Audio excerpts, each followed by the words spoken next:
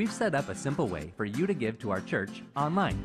If you want to give a quick gift, enter an amount, select a fund, and enter your email address. Then enter your payment details and click Give. And that's it. We'll send a receipt to your email address. To use a saved payment method or manage a recurring donation, you'll want to log in. Click the login button and we'll send a code to your phone or email account. Verify the code and you're in. Now your payment info is ready to go when you want to make a donation. And if you switch over to the My Profile page, you can update your contact info, link to a bank account, and review your giving history. To get started, visit our website or download the Church Center app in your Android or Apple App Store.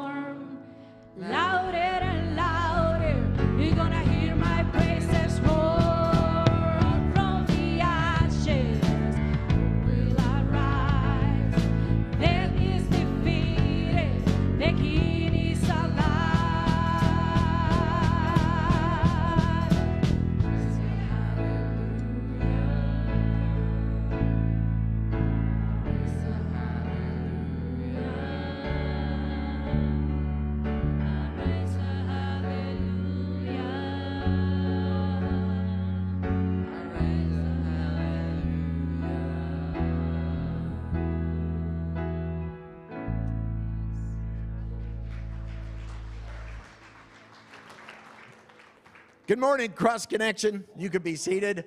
It's good to see everybody today. Are you excited today? Amen. Um, we can have the ushers come. I'll tell you, if you've been listening to the news, things are getting exciting, aren't they?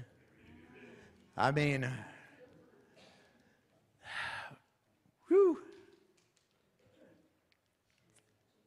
Do you think we'll finish the service today? May not. Who knows? Only God. Uh, Even so, come quickly, right? You know, the, the Bible says, pray for one another, thus fulfilling the law of righteousness. Um, during these trying times, let's pray for one another. Let's pray for those in, that are in elected officials and pray for those here in the body of believers.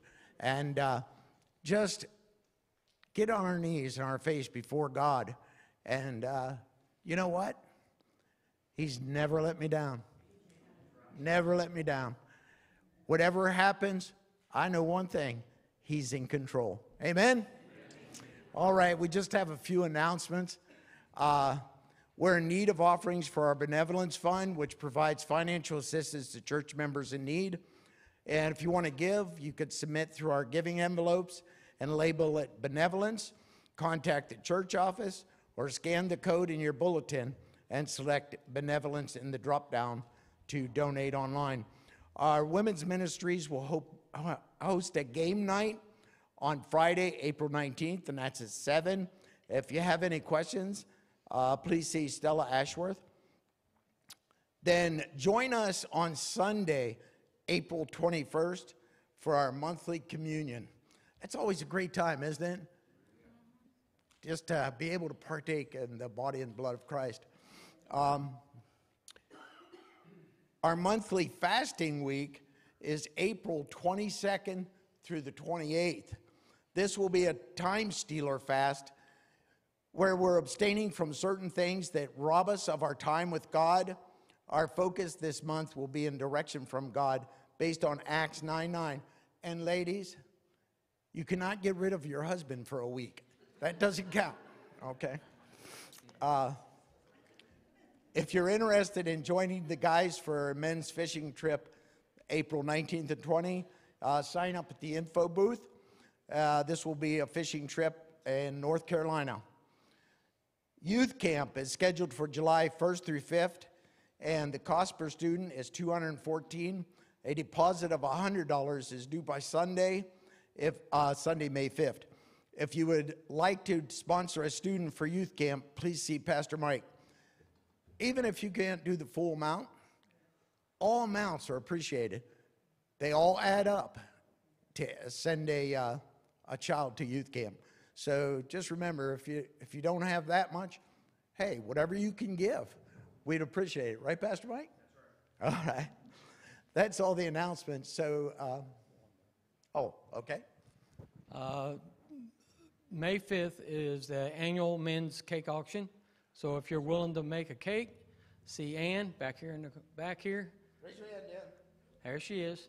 All right, and we'll get it started. Thank you. And they have uh, chili hot dogs that night usually. Yeah. Good stuff. Uh, if we could ask one of our ushers to pray over the offering this morning.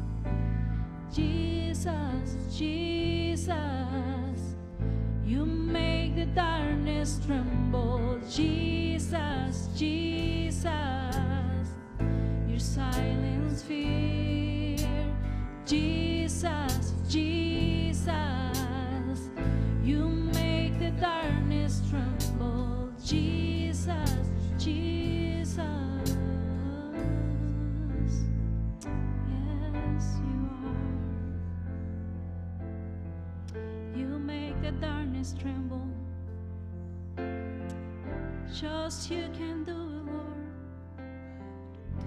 And we worship you this morning. We give you honor and glory. You are the only one. You are the worthy one. And we give you honor this morning, Lord. Oh, Jesus, Jesus, Jesus, Jesus. Oh, something about that name. Jesus, Jesus.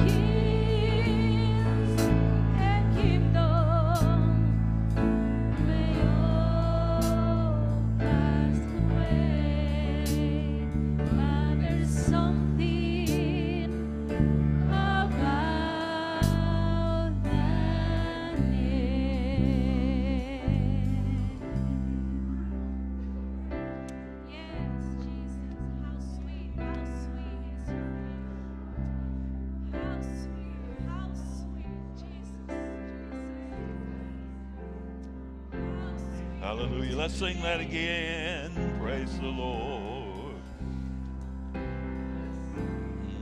Mm. Just worship Him.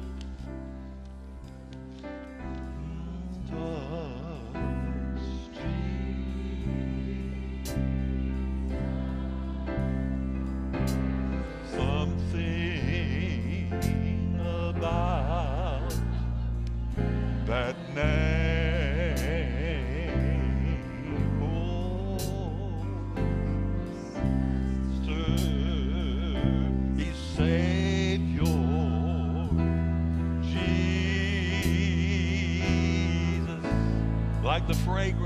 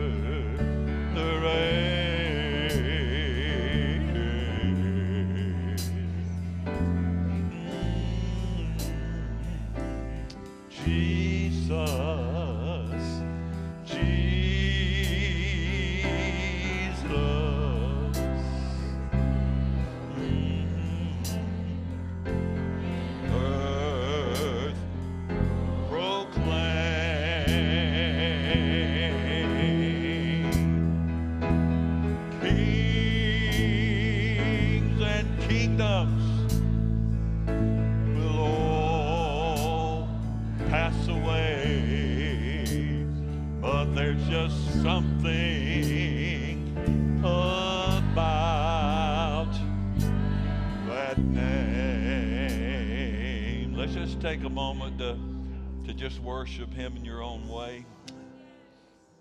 Oh, Heavenly Father, Jesus, Jesus. Nothing else needs to be said. Nothing else needs to be proclaimed but the name of Jesus. At that name, every knee will bow, and every tongue will confess you are Lord. There is no other name under heaven by which man can be saved but that name, Jesus. All creation knows that name. The demons of hell know it and fear it. The child of God knows it. The world may curse it, but everybody knows that name. And everybody will bow before that name. They can do it now or they can do it later, later, but they will bow before that name and proclaim all creation that Jesus is Lord. And kingdoms will all pass away, but there's something about that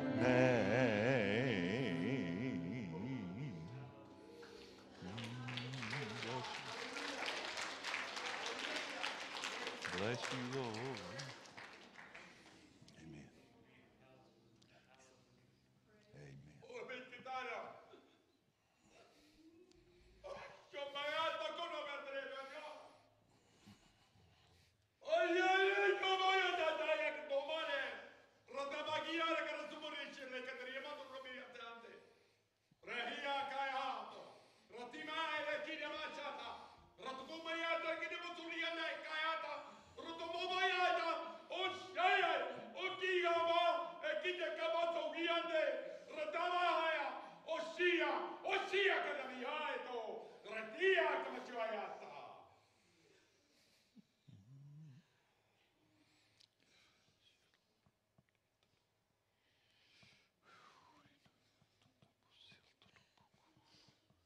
These are the times that have already been spoken of.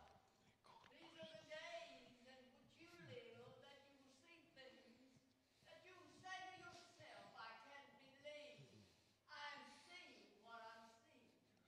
And you will say in your heart, is this the time that God has already spoken of? Could it be that the days that we heard about are short? And that this is the hour, and which I have presented unto you, that this day choose you whom you will serve, so that you will not be left behind. Amen. But I speak a thing, I speak a thing unto you, that it is not man's word, but it is my word, says the Lord. And these days are numbered. And you've heard it said, so why will you not believe that the days are short until my return? Choose you this day whom you will serve, so that you will not be left behind.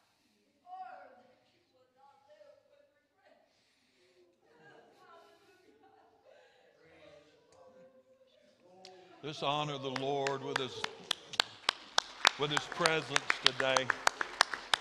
Thank you, Father. We love you, Lord. Thank you, Lord. You may be seated. Thank you, praise team.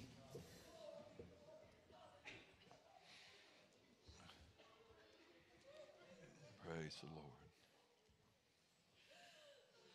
We bless you, Lord. Bless you, Lord. And when the Holy Spirit shows up for you, that's a cool thing. When the Holy Spirit shows up for you with a special message, that means that uh, we're a beloved people. That God cares about this church and He cares about you. And when the Holy Spirit shows up, specifically, He wants you and I to prepare to get ready to be alert and to be used for the sake of the kingdom.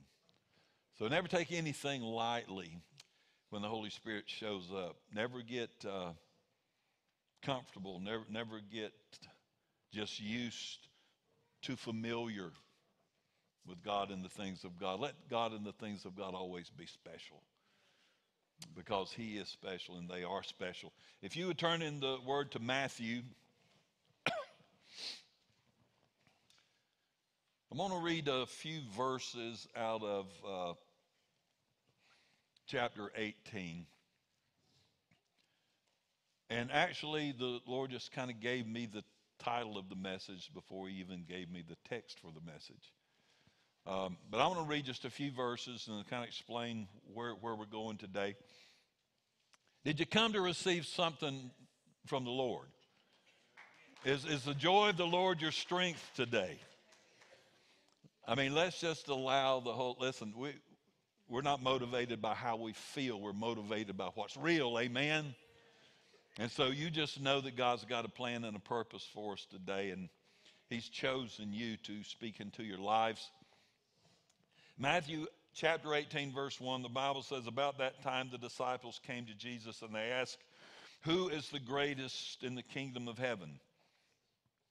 Jesus called a little child to him and he put the child among them. Then he said, I tell you the truth, unless you turn from your sins and become like little children, you'll never get into the kingdom of heaven. So anyone who becomes as humble as this little child is the greatest in the kingdom of heaven. and anyone who welcomes a little child like this on my behalf is welcoming me. And I'm going to stop right there, and I want to say, just to encourage you, and this is what the Lord spoke to me this, uh, where Jesus says, Anyone who becomes humble as this little child is the greatest in the kingdom of heaven. And my thought was this could I ever be that? Could I ever be that? You know, just because you've made a mistake in your life, just because you've made a mistake doesn't make you a mistake. I just think, you know, in this world, uh, we got things like American Idol, and they'll say, well, why, why are you here? Well, I want to be the greatest. I want to, I want to be the American Idol. America's Got Talent. What do you want to be? Now, the only thing about America's Got Talent is very few from America there trying to win the prize. It's the world's got talent, I guess, but they'll say, I, I'm, I'm going after being the greatest. We have athletes that want to be the greatest of all time. They want to be that. There's people that want to be the wealthiest. There's people that want to be the most famous. And then there's people like us, we just want to be able to get up in the morning. Amen. I mean, you know, we just want to have, uh, have a job to go to, a roof over our heads. Uh, and sometimes, while the world may aim too high for the wrong things, we aim too low for the wrong reasons. But as I read this, I was challenged. And, and, and I'm, I'm just telling you, the Lord put that, can I ever be that? And so he wants you to know today there's things you can be that maybe you think are out of reach, but you've got to change your notion on things. Because you can be stuck in what if. You can be stuck in watching everybody else be used and, and, and go on and do things for the kingdom and just so busy being a spectator that you don't, you're not allow yourself to be a part of the process. But if Jesus says, if you will do these things, you can be the greatest in the kingdom of God too. I just want to see what that feels like. I just want to try it a little bit. I want to see if, if that will move me further, if it'll make me better. When, when I was challenged with this, it's like the Holy Spirit said, we're, you know, my church is just settling. And we're just uh, kind of okay with a routine and we're okay with feeling okay, but I want you to feel great. I want you to be great. I mean, you and I, we're, we're believers and, and the things like the cliche scriptures, the joy of the Lord is our strength and I can do all things through Christ who strengthens me. We speak those, but do we live those things? We're not great because of what we speak. We're great because of what we are and what we live and what we do. So, this was the message put in my heart today. Could you and I ever be that? And actually, the, the word they use in the Greek for child here isn't gender specific. It isn't boy or girl, it's just kid, it's a child. It's like when you speak to a baby, what is it? Oh, isn't it cute? Isn't it? And so if I could if I could picture this scene when Jesus called a little child, because little girls had less status in, in that day, just because of the, the importance of carrying the name and different things.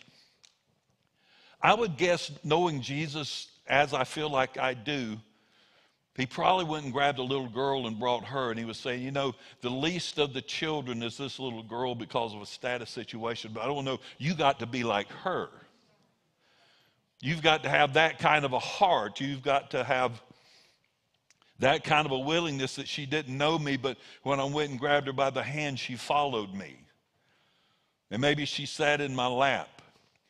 You know, children affect us in funny ways. I mean, we turn into fruitcakes around cute little babies. We start talking funny. We start talking like aliens. We don't even know what we're saying, why we're saying it. We spend money. They preoccupy us. We show strangers their pictures.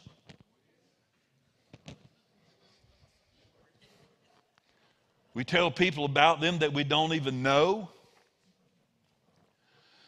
There's something about children that changes us. There's something about children that gets some good stuff out of us that where we let down our guard. And I know God has used me as a little child to get things out of people. I remember when I was about 10, dad was in Vietnam and we lived with granny and granddaddy. And back then we didn't have peepaws, pawpaws, pop pops. It was granddaddy or grandpa, and it was grandma or granny. That's what you called them. So granddaddy would get up in the morning, go to the porch. He- Oh, he'd get up and eat breakfast, go to the porch and sleep. He would get up and go to lunch and go back to the porch and sleep. Now, sometimes we would play checkers and we played with bottle caps. And he taught me about blowing a, a, a bottle cap because if you had a chance to jump and you didn't, they could get your bottle cap, blow on it, and take your. He just taught me all kinds of deep intellectual things that I'm able to share with you. One day I walked by, I'm 10 years old. I walked by Grandpa, his head's laid back, he's snoring. And I think to myself, I wonder what Grandpa would do or Granddaddy would do if I poured ice water on his forehead. So I went, I got a glass of ice water. I didn't fill it up, about that full of ice water, and I poured it on Granddaddy's head. Well, I found out something about Granddad I did not know. He could run. Granddad could run. I had never seen him run. He come out of that chair. He chased me. He took off his belt. The only thing that saved me was Grandpa's pants falling down. That is absolute. He's running around the house, and he had to stop to pull up his pants. But I thought, man, I did something awesome. Nobody knew Granddad could run. It was pretty much eat and sleep, eat and sleep. I got Granddad to run. So I'm just telling you, there are things that kids can do. And so Jesus is saying there, there's a childlikeness that if you will pick up on that, you can do. There's things that will change you. There's things that will get my attention if because this is what the kingdom of God is like. Sometimes we're preoccupied with the wrong things. Some get frustrated uh, with me that I don't talk about the blood moons and the red heifers and the, the eclipse uh, that's going on. And but can I tell you something, man? I just want to know Jesus, and I just want to be ready when He comes, and I just want to make it to heaven. That's really all I care about. I can't. Nothing can change me that's going on out here. I know it's coming. The Holy Spirit spoke to us a while ago about the times, and there is an urgency. We, we know that He is coming. And what the, what the Holy Spirit verbally spoke to us, most of us feel in our hearts and our spirits. That was just confirmation for what we already feel. A lot of times when the Spirit comes and speaks, it's not always a new thing, it's a reaffirming thing that we need to pay attention to. So that's my life. That's my heart. I want, I want to be ready. I want to do what I can to get us ready. I mean, on, on the way to picking up the grandbabies to come to church today, and while I'm thinking about it, pray for my wife, Pam. You hadn't seen her. She's got both knees going out. She's got to have one knee replacement. We're trying to take care of this estate stuff. She's had to step down from her job. And uh, I mean, we're and we're trying to get trying to muddle through to get all this stuff taken care of. We've had an estate sale, a moving sale, and a yard sale. We call it different things. It's the same stuff. But I mean, it is like it's consuming our life. So, but anyway, pray for her. She can't. I mean, she can't get out of bed. I mean, she cannot. She cannot hardly function. Uh, we're going next week, and and. Uh, they're going to set a time to do the surgery. So just be in prayer. Um, she misses you all. She loves you all. You know, I, I miss having her around, but we're just we're hit with so many things right now. But God's faithful. God doesn't fail. I preach that message. He's, he's not failing us. He's blessing us in spite of these things. But I want to be in the kingdom of God and not but but if if i can be great in the kingdom of god if that's something that the lord says i can be and we should attain to be is it's just be in the kingdom of god but do something special in the kingdom of god for god in the kingdom of god could i ever be that so I'm going to deal with that question today could i ever be that because some of you just wonder if you can just ever be a good christian could i ever be that could I ever be loved, the one that my family looks to and loves? Could I be that? Could, could I be the one that uh, God could use to lead somebody to the cross, to salvation? Could I be that? Could, could I be the manager of the place that I work? Could I be that? Could I be a manager? Would people respect me and look up? Could, could I, I be happy in my marriage? Could I be happy in my life? Could I just could I just be happy? Can I be that? So it's probably a question we've all asked to some degree or another can I ever be that? And, and many of you had parents like mine that said, You can do anything that you set your mind to do. You're a smart kid, you're a sharp kid. You can do what you set your mind to, and you can be successful. And then part of us is hearing that, and the other part is saying, I don't know. Can I ever be that? But I think if you and I attain to be great in relationship with the Lord, great in the kingdom of God, I think other things will fall into place. But let me share these things with you today. What does it take to be childlike like that? Like Jesus is talking about. First of all, it takes being fed. If you're taking notes, write that It takes being fed. Jesus said in John chapter 6, verse 35, I'm the bread of life. He who comes to me shall never hunger or never be hungry again. When I was a kid, one of the main staples of my life, and some of you kids probably never heard of this, we had light bread. We didn't have uh,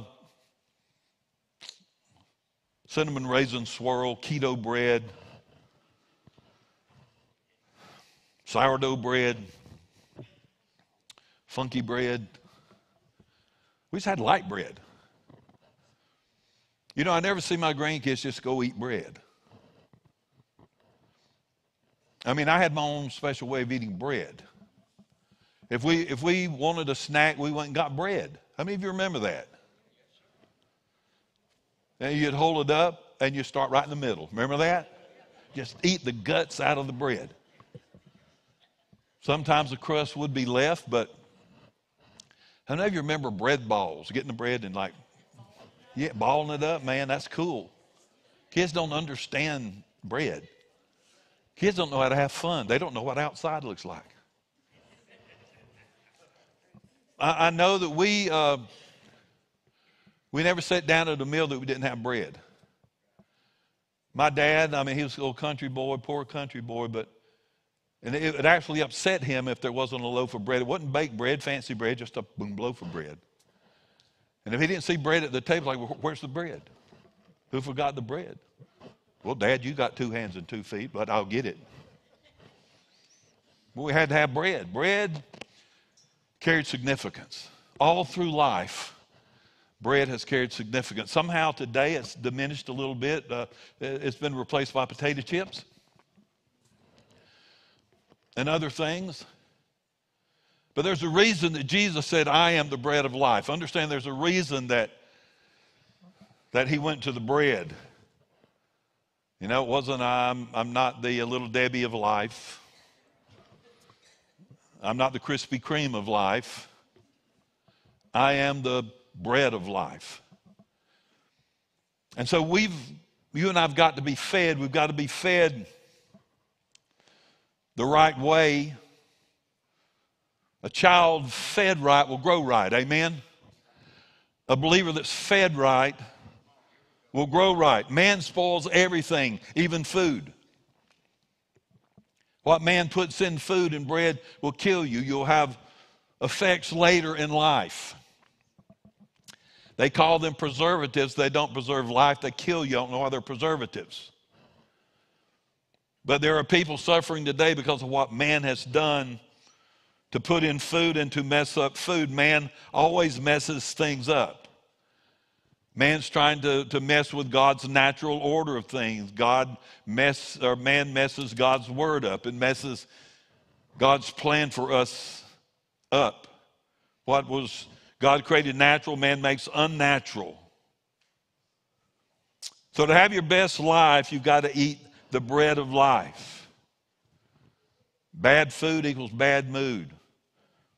I mean, how many of you can just uh, understand eating and being full, but still being hungry?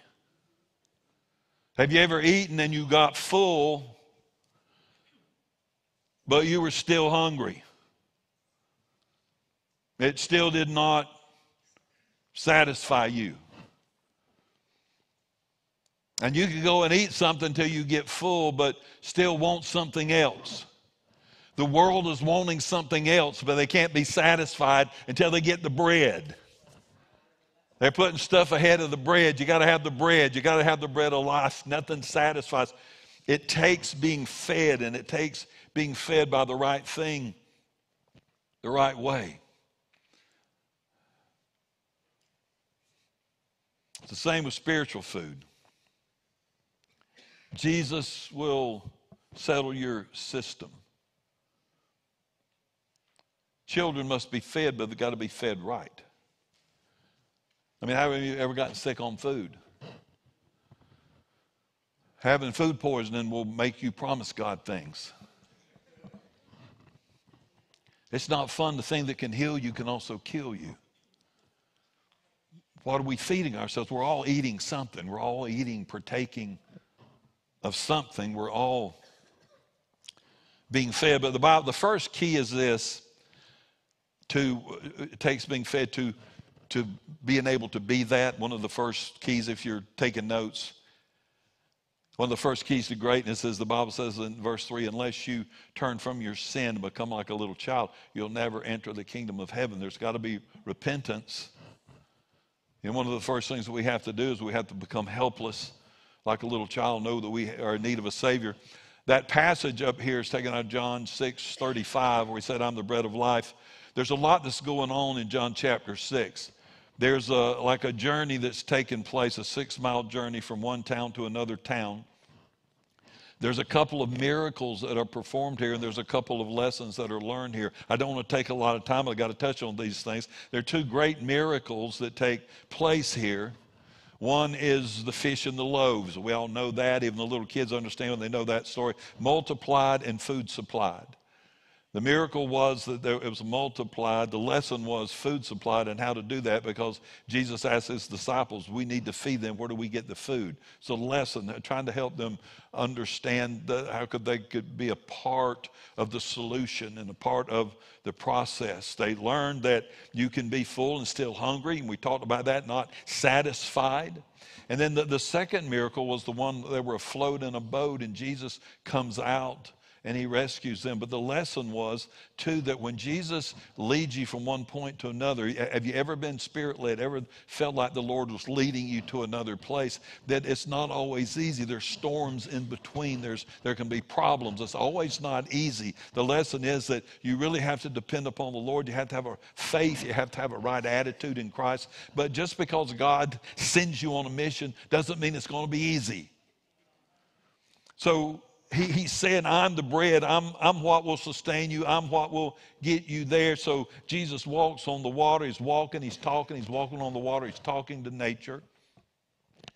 Encountering storms.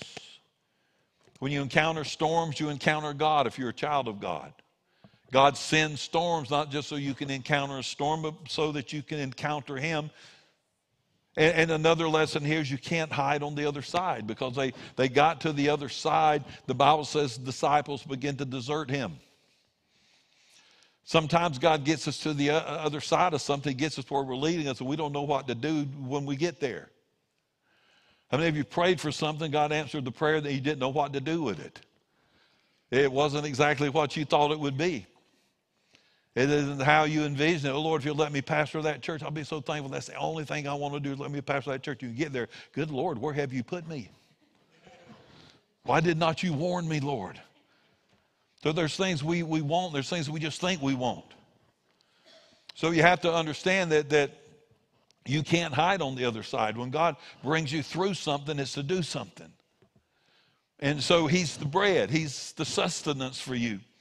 You've got to eat and partake of Him. If you do that, you won't be disappointed. This, you won't ever be hungry. It stands for a lot of things. You won't be lost. You won't be left. You won't be disappointed. You won't be dissatisfied. You won't be sad. But many did desert him, but also, as some deserted, others were converted. That's the thing. You get over there, either you and I will desert or we'll convert and say, okay, Lord, I'm going to trust you. I'm going to Man, I'm, I'm going to be this greatest thing, this greatest servant, this greatest in obedience, this greatest in the kingdom of God. I'm going to buy into that. I'm going to do that. And so in chapter 6, verse 31, bread becomes an issue. What you, if you read that, read chapter 6 sometime of Matthew. Man, that, it's, it's really not about the storm. It's not about the, the, the ministry on the mountainside as much as it is the bread. Everything through here, he's talking about bread. Bread's such an important part. It takes being fed. Jesus knew that. It takes being fed the bread.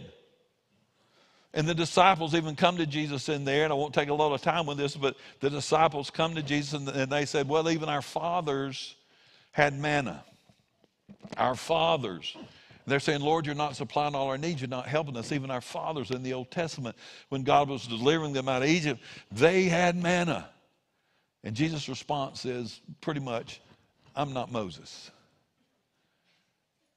God used him to give you manna. I'm the bread of life sent from God. I'm what you need to be chewing on. I'm what you need to be focused on. That manna spoiled. I don't spoil. That, that manna had conditions. I don't have conditions as far as eternity. So you need to look at the right thing. You need to eat the right. We've got to be fed. We've got to continue. We, we can starve. We can be a believer, come to church, be in a ministry, and still be spiritually starved to death. You've got to be fed. Pastors that just preach and don't pray and study and and do devotions for themselves, they starve. There's, there's pulpits filled with starving pastors. There's marriages that look good on the outside, but they're starving for relationship because they're not feeding what's important. There's kids that they're in a big family and kids and brothers and sisters all around and grandparents, and they feel so alone because they're not being fed attention and love in Jesus. Do we want to be the greatest? Do we want God to use us in a great way? Can we ever be that? We got to be fed. There's a couple things here, and we need to understand. David said this taste and see that the Lord is good. Just try Jesus. Have you ever been to uh, like Costco and Sam's Food Club? How many of you will admit along with me just go for the samples? Come on. Go around lunchtime. And you know, if they got a lot set up, you can actually make two passes. And if you're there with your family, you can send your wife and you can go back and send like your oldest grandkid. You just find ways to work the system. But there's samples, there's a sampling of the things that are good that we just taste of. And then the plan is okay, if you taste it, now go buy it. Because they'll always say, Did you like that? Well, here's a hole. They do Vanna White. Here's a hole. And sometimes we do buy it. Usually not. Usually we're too full to think about food. But David said, if you will sample Jesus, if you will taste the Lord, you've tried everything else. But if you'll be fed on something real and something pure and something that stays with you, uh, my parents had a, the old timers had an expression uh, take some of that, eat that, it'll stick to your ribs. Jesus sticks to your ribs. He don't cook your ribs. I'm, he don't, don't do no barbecue sauce with Jesus. But he will stick with you. He will fill you. And not only that, he'll refill you. Here's some things to write down. Whether you're out of reach in the boat, whether you're out of reach or on the beach, there's four principles in this story about feeding the multitude and the disciples on the stormy sea that you need to know. There's, there's four things that Jesus is real, real quickly. Jesus was these four things. It'll be these four things to you, whether you're on the beach or whether you're out of reach. Write them down. He's presence. He's peace. He's power. And he's purpose. Probably one of the most important things I just said is he's purpose. Without a purpose, you and I will never feel fulfilled. Without a purpose, without a goal, we'll never measure up, we'll never reach our potential if we don't feel what we're doing has an end goal that counts, that means something. So on that beach that day, out in the, the storm, the tumult that day, Jesus was presence. He was such powerful presence that he could not hide. Jesus had trouble hiding from the people. They followed him he, because of his presence in the storm and in that time when it was mealtime and everybody was hungry and fretting about what to do, Jesus was peace. And when the storm needed to be stopped, he was power. When the demon needed to be cast out, he was power. And through it all, he was purpose. He was making disciples. He was creating those that would be great in the kingdom of God and great in purpose and great in ministry, as he's doing with Cross Connection today. Can I ever be that? Can I ever be that? The second thing is this it takes being led. You've got to be fed, but you've got to be led. Who likes to be led? Nobody likes to be led. Not this generation, not you, not I. We'd rather tell people what to do than be told what to do. It's a hard thing. The scripture says in Psalms 23 3, He leads me into all paths of righteousness for His name's sake, and He restores my soul. Children weren't perfect nor innocent, but it takes being led. Your kids have got to be led. They're not your best friend, they're your child. They don't tell you what to do, you tell them what to do. They don't punish you, you punish them. You deal with them, you give them boundaries. You make them accountable. You discipline them. If you don't, you're shirking your duty before God. We have a responsibility. Kids can't raise themselves. That's why this generation is such a mess. The world's one of the reasons it's such a mess. Kids have raised themselves. You see what that looks like. Don't respect anything. Don't won't take responsibility. And there's exceptions to this. And again, this isn't just teenagers. The generation goes to about 40 or 50 years. So it's a it's a lot of people. Not picking on my kids. I love my kids over there. Thankful for you kids. Tell your parents to raise your allowance. But we have a generation that's easily led into error. They're arrogant, they're proud, they're flesh driven. If you aren't spiritually led and fed, you end up dead. Come on. More ways than one, only God can lead us to being that. Sometimes we just quit from fear of failure or miss our chance to ever be that. Remember, Jesus said you could be that. He said that you could, you could do that. There's a lot in Scripture that, that struggle with the same things that we struggle with. The outcomes were not always good. Cain killed Abel because he looked at Abel and he said, I could never be that. I could never be that. Ishmael hated Isaac because he looked at Isaac and his connection with Abraham and who he was and Sarah and said, I could never be that. I, I could never be Jacob. Esau resented Jacob. Leah wanted to be like Rachel. She looked and said, I can never be loved like Leah. I wish I could be, uh, Leah said, I could never be loved like Rachel. I just wish that when he, my husband, looked at me, that he would look at me the way he looks at her. I, I wish that somehow I could be that, be acceptable in his eyes. And Saul looked at David and said, Even though I'm king, I could never be loved by the people like that. I could never have that anointing. I can never be that. Joseph's brothers looked at Joseph and said, We'll never be the coat of many color brothers in our father's eyes. We can never be like that. We can never be loved like Joseph. But Jesus said you could be that. He said you could be that. You don't have to be Joseph. You don't have to be Jacob. You don't have to be David. You can be that. Don't let the enemy take that away from you. You don't have to follow those that are out ahead, those that are getting the attention today. You don't have to attain to be like them, you have to attain to be like Jesus. That's who we have to follow. Jesus said that you can be great in the kingdom of God. What it takes that these lack the second key. The first key was helplessness that leads to repentance. The second key, write this down. What Jesus said in verse 4 if you want to be that in the kingdom of heaven, anyone who humbles themselves.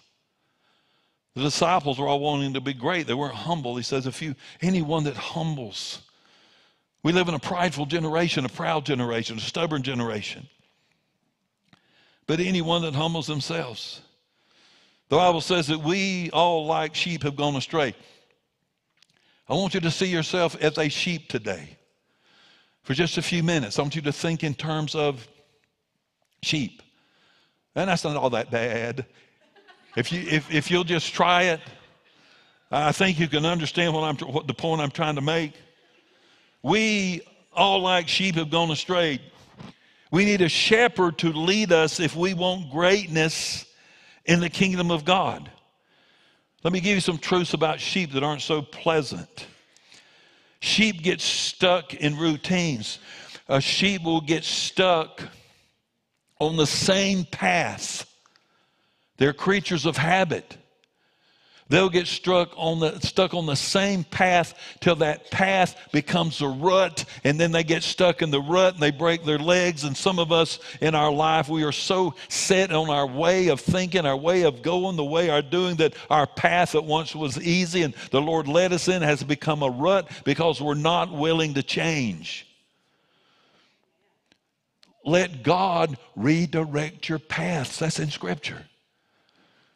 How many of you believe that sometimes God redirects your path?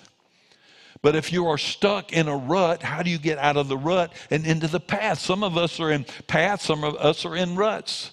If you understand ruts and you've ever been in one, raise your hand along with Pastor Joey. Let me see who's out there. It's time to get on a path where God's leading you, a path to greener pastures. The Bible says he, he, he may want to take you. This was, this was good. That miracle, that blessing, that ministry, that time, that season was good. But now he's wanting to take you to a greener pasture. You have done ate up all the resources. Which kind of leads me to the next next thing here. You get stuck in ruts. Second thing is sheep will graze for days in the same place. And unless you move, there will be no growth due to no nutrition. You have eaten up all the resources. That miracle was great, but can I tell you, you can't keep living on yesterday's miracle today. You can't keep living on that, that ministry success where you led somebody to the Lord 10 years ago and keep talking about that. Or when God healed grandma, that was an awesome thing. But God wants to save today. God wants to save tomorrow. God wants to heal grandma today. But we can't just get stuck in the, the pasture of the field we're comfortable with. And I'm talking mentally, emotionally, spiritually now. You just can't get stuck in that spiritual place because after a while, you're going to eat up all the nutrition. Pretty soon, you have to quit going on all you know and, and, uh, and learn what else God's got for you. I mean, what you know, how many of you ever been in a job and um, a, a situation where you have to be retrained every now and then? You got to learn new stuff. The computers change, used to change every five years, now it's like every five weeks. The program's changing, and I mean, we listen, the world is going at warp speed. I'm just telling you. Things were so much slower. I mean, we have gone from eating holes in bread to where we're at today. So I don't know. You know, I, I know we're in a situation where you got to listen to the Lord because, like sheep, if these sheep weren't led to a fresh pasture, they would have died. A fresh pasture and a fresh pastor. Amen? Okay, we'll move on from that. The third thing is this. Listen to this. They turn grassland into wasteland because they pollute where they're at. You know, if you and I aren't careful, we turn grassland into wasteland. Because after a while, when we get stuck, we just, frustration comes. And when frustration comes, we get negative about things, we get critical. And sheep, if they're not moved, they'll kind of pollute where they're at. If you and I get stuck in a bad notion, a bad frame of mind, a bad negative situation, have you ever worked in a toxic environment at work and it just kept polluting itself because you never got the pollution out? Many of you know families can be toxic? That's terrible, but you can be in a family that somebody need to get out. I mean, somebody needs to take a vacation in New Zealand for about four years. They just need a different pasture because they're polluting everything. I mean, some people just hang out in church just to pollute the church to control and not release control. They just hang on. Is anybody listening to me today? Anybody listening to me?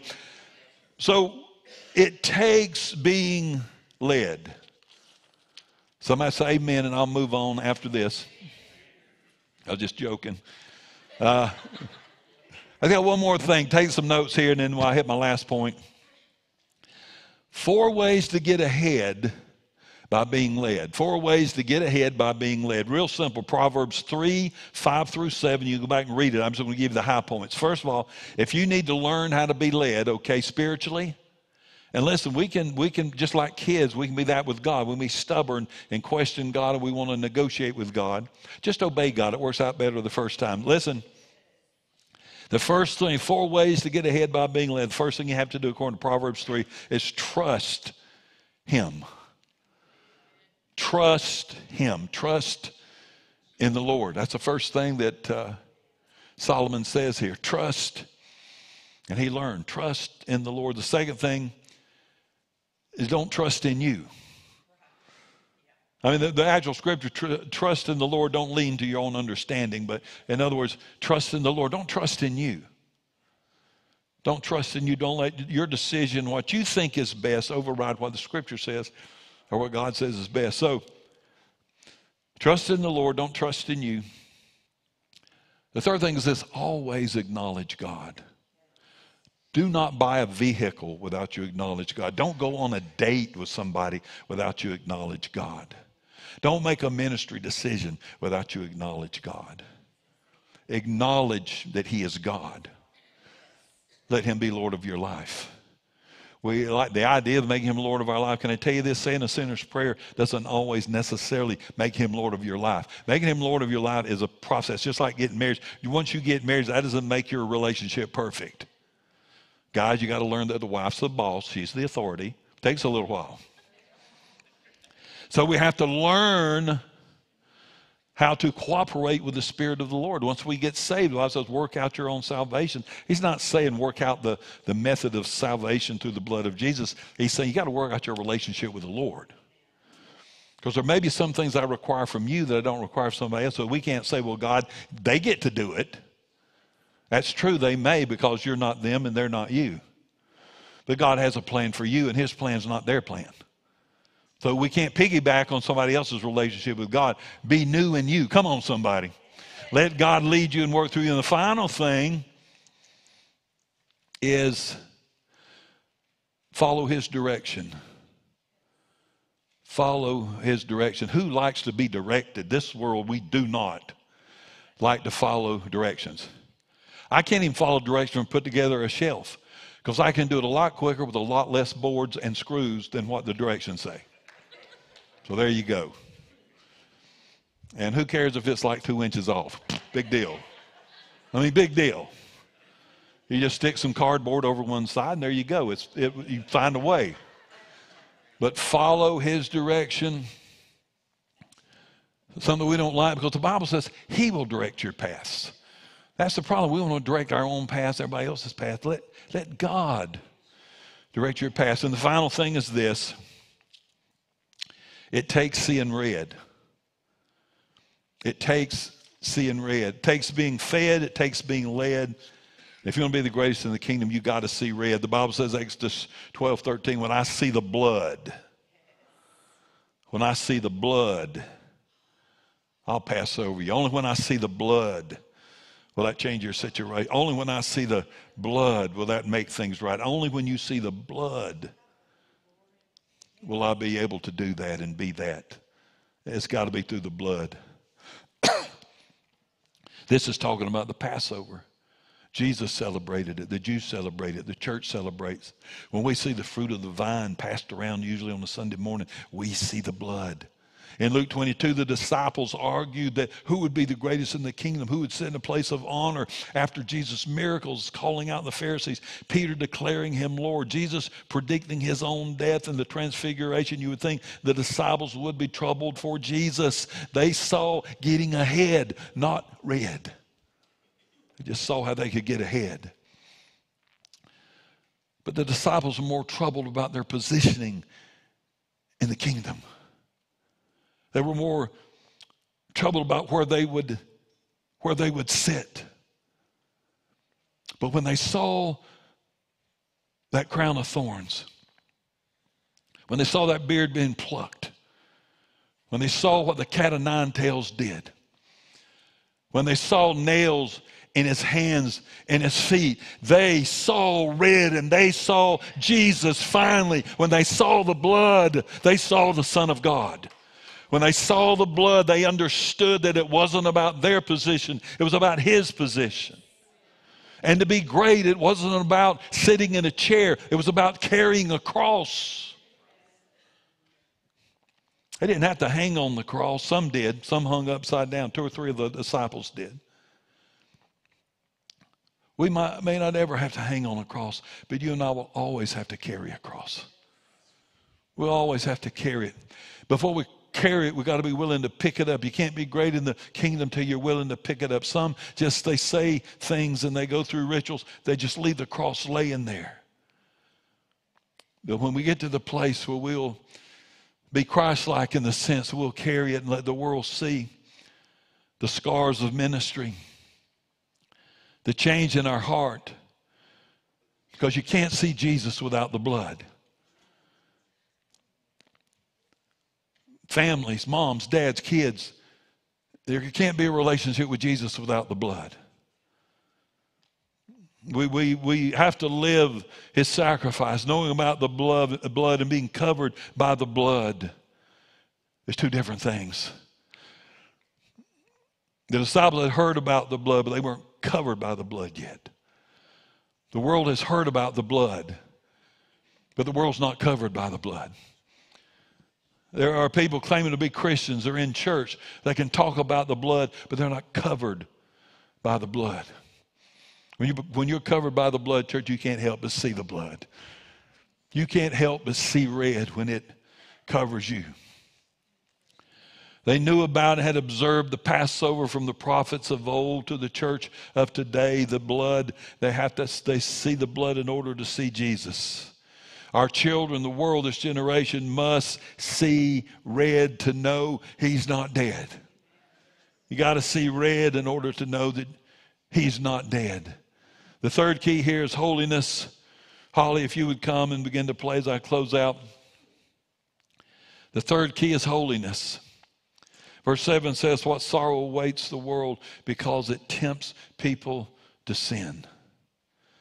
So we have these three things. We have helplessness, it's a childlike faith for forgiveness. We have humbleness, we have holiness that will allow us to be that for the kingdom of God. And I will close out for this and, and write these things down. I think they're important. Could I ever be that? Hope today that you have confidence to know in Christ. The Bible says that you can do all things in, in Christ. The Bible says you're not just a conqueror, you're more than a conqueror. We can all we do all things through Jesus. So understand because of scripture, you can you can be that. You can be that fully, totally, wholly committed to Him, used in a powerful way by Him. Could I ever be that? Let me give you three first steps. How many of you know baby got to take some first steps? Skin some knees and get some bumps on the head.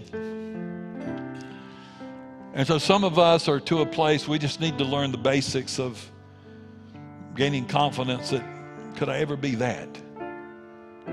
You, you can be whatever you want to be in Christ. You can be the fullness of what He's called you to be. And that's a problem. A lot of the church, a lot of us in ministry, we're just halfway, three quarters of the way to what we can be in Jesus. I, I believe that when God created Adam and Eve, I believe their brain totally functioned. I believe they just knew how to do things that weren't even explained to them. We see that a little bit now through savants or some part of their brain. Only 10% of our brain works. So there's some people that, in my case, 2%, but there are some people that uh, a part of that other 90% comes alive. Nobody knows why. But at two years old, they can play a piano. At six years old, they can tell you a date that happened 200 years ago. That's the brain of Adam and Eve. That's the fullness. That's what we don't have because of sin. But I'm telling you this one day, one day, we're going to be all that. We're going to have all that. Isn't that going to be awesome? The only bad thing is my wife already knows what I'm thinking. I've got to work through that. That's her gift. Guys, your wife has a part of the brain that works that yours doesn't. When it comes to arguing and remembering, just forget about it. That part of their brain works. You think about the good stuff after the argument, not during the. We're thinking about fishing or golfing or college football game. They're thinking about what you did two months ago that that needs to be dealt with. Come on, somebody. Could I ever be that? Here's some first steps. First of all, repentance. Write that down, just a first step. Ask forgiveness from God. The second thing is resilience. You didn't think I was going to say that, did you? But I'm telling you, a first step to being, to, to being able to do all that and be all that resilience, bounce back with God. Ask forgiveness from God, resilience, bounce back with God. Listen, I'm bouncing back at least once a week. I am bouncing back from a setback. We got to bounce back. People in relationships and trouble and problems and their spiritual walk, everybody stumbles and falters. And but the, the key is not to focus on on, on falling back, the, the focus on bouncing back. Come on. See yourself as a basketball. When you leave here, I want you to you look in the mirror, don't see you, see a basketball. That'll be a lot more appealing to some of us. See a, a basketball that bounces back. Basketballs are tough. You bounce them, you throw them, you kick them. They're hitting the rim, they're getting stuck in the rim. They're getting needles stuck in them to pump them up. What a terrible life a basketball has. But the cool thing is, they may need pumping up, but they always bounce back. Come on, somebody. So, resilience. Don't be defeated and get down and lose out. Bounce back. Come on back. If you had an argument with your husband or wife, bounce back and love each other again. Overcome it. And then the final thing is reliance. Repentance, ask forgiveness for God. Reliance, bounce back with God. Resilience, bounce back with God. Reliance, depend on God. Depend on God for everything. Stand with me this morning. And listen, if you need Jesus today, just come on up and let us pray with you. If you need Jesus, come on. If you don't know him, come on. Let us pray with you. But, church, I just wonder how many of us are thinking, no matter what that is in Christ. And again, let me see your hand. If you ever thought, could I ever be that? Let me see your hand. Could I ever be that? Jesus said you could. And boy, I gave you a roadmap. I gave you a roadmap. If you'll just be faithful to do those things. Pray with me this morning. Heavenly Father, in Jesus' name, and if you need to come to this altar, you come. If you're really stuck in this, you come to the altar. We'll agree with you. But Heavenly Father, in Jesus' name, God, you see the hearts out there. There are some because of their physicality the things they can never do that or be that. There are some because of their past that thinks they can never be that or do that. There are some, Heavenly Father, that are where they're at mentally and emotionally. Don't feel that they could ever be that. Father, there are some that have struggles in their life. They have trouble overcoming. They feel condemnation and guilt, and they just think in their heart that they could just never be that. I want them to know, Lord, that all things are possible according to your word in Christ Jesus. All things are possible. Lord, we are not, I can never be that people. We are an all things are possible people. And I pray, Lord, in Jesus' name, that their, their attitude will change. They'll start worrying about how they feel, God, and what they can, their limitations physically, but they will do what they can, and you'll water that and take that and let that grow and be powerful for the kingdom, and they can be great in the kingdom. And Father, for those that are so insecure in themselves, God, they, they can't even hardly speak. God, I pray in Jesus' name you'd give them a holy boldness. Lord, that give them confidence, not in who they are, but who they are in you. A God that can do all things. A God that can speak to wind and waves and evil spirits. A God that, who, whose name everybody knows. The name that they serve. They can do all things and anything. God, I pray for spiritual confidence in them, not arrogant pride, but spiritual confidence, God, that they can be everything you've called them to be. And they can even be a lot of what they want to be because God says He'll give us the desires of our heart. And Lord, I know sometimes that means that you'll give us what we desire, but also you'll give us what we want sometime, God, if it's within the framework of your word. So I just pray, Heavenly Father, that you would let us go out of here confident and bold today, knowing, Heavenly Father, that we don't have to worry about could we ever be that. Just go out of here looking forward to becoming that. In the mighty name of Jesus. The mighty name of Jesus. Elizabeth, we need to pray with you. Mm, Bless you, Lord.